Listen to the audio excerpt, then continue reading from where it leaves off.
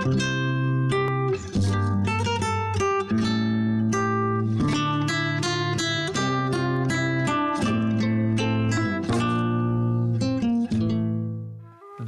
день, дорогенькі мої глядачі. І дітки, і дорослі.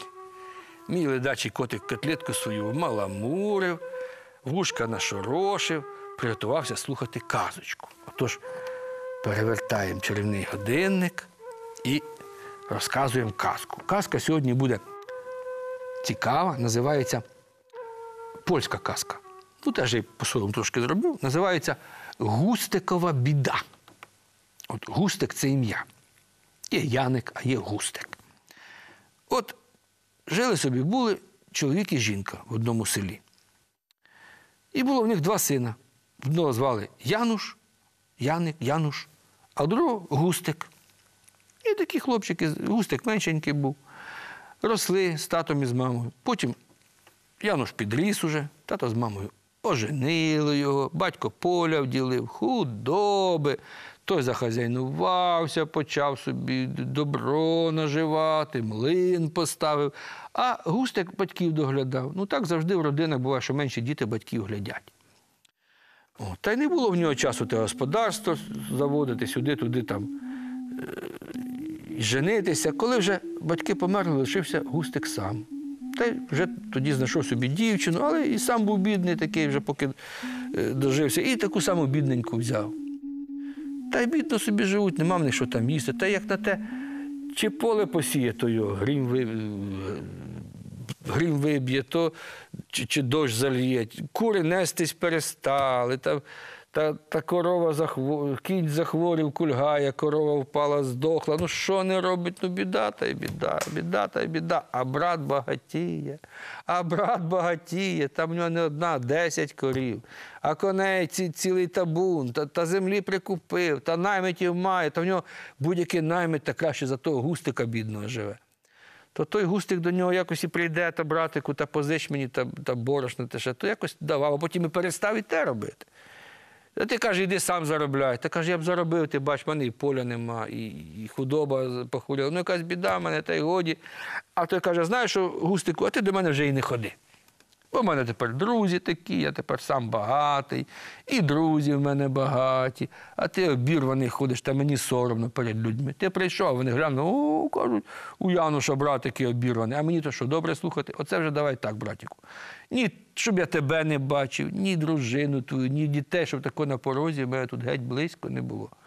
Оце, що коли-неколи я тебе побачив в селі, може, та ти тако одвернись, ніби ти тако зі мною і не бачиш мене. Як то було густикові слухати такі таку, такі гіркі слова та від рідного брата. Разом же росли, разом же, божечки мій.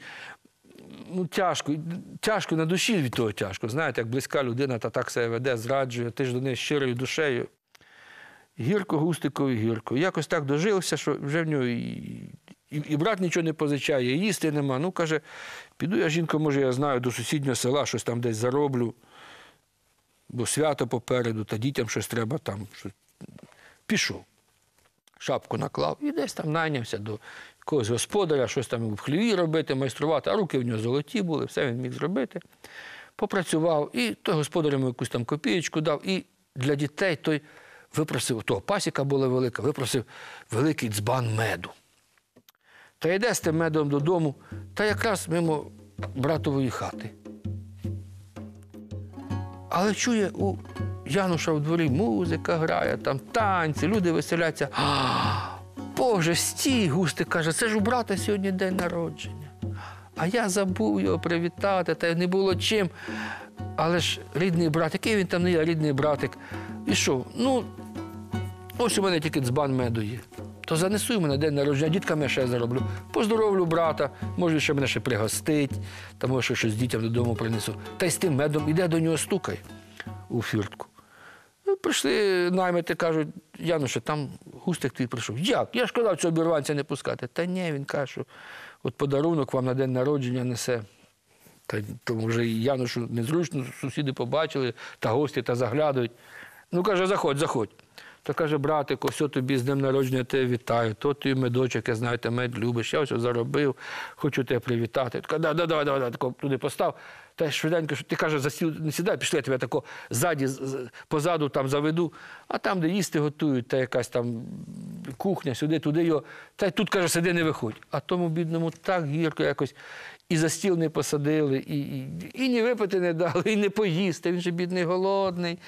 І так йому гірко стало. Думаю, я ж це прийшов брата привітати. А він не те, що це якби не люди, він мабуть, і, і собаками прогнав би, так?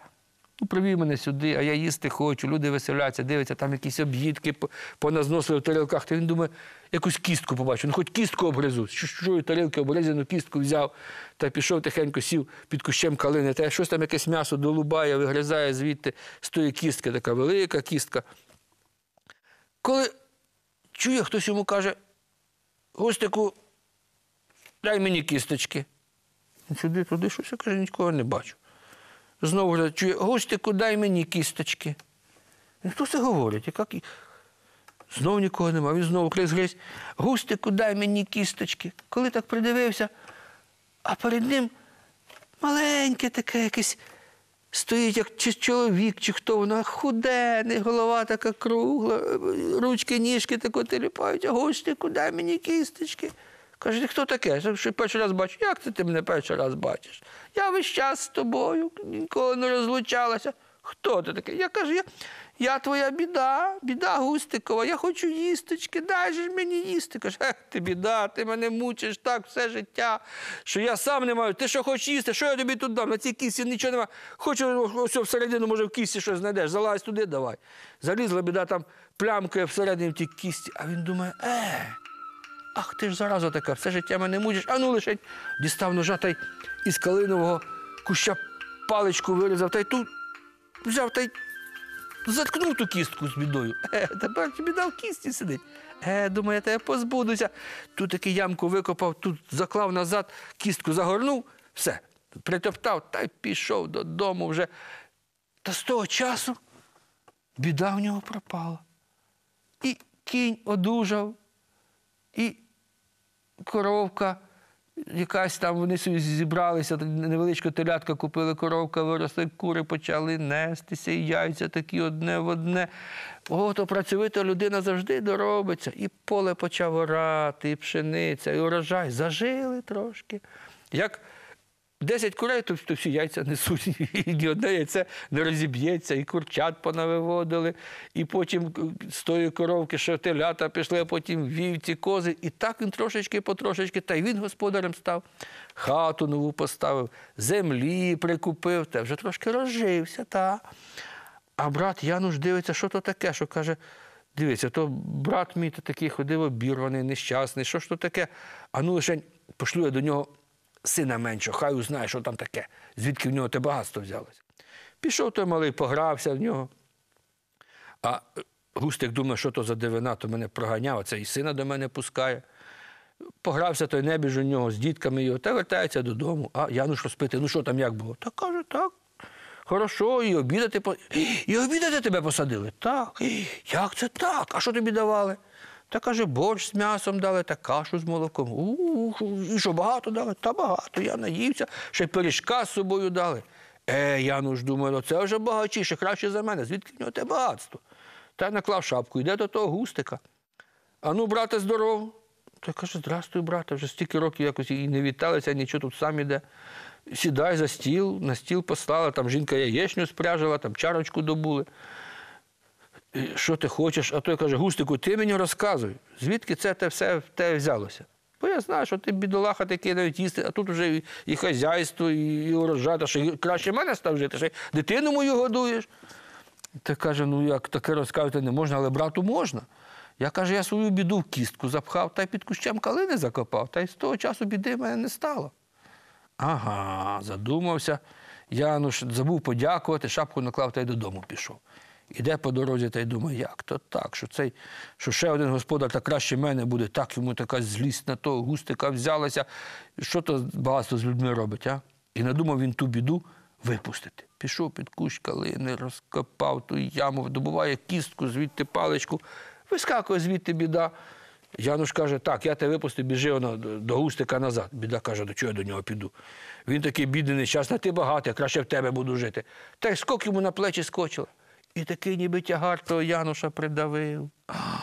І що він не робить, і в нього з рук все валиться. І тепер вже в нього не урожай. Та яйця ті кури перестали нестися, та коні похворіли, та все.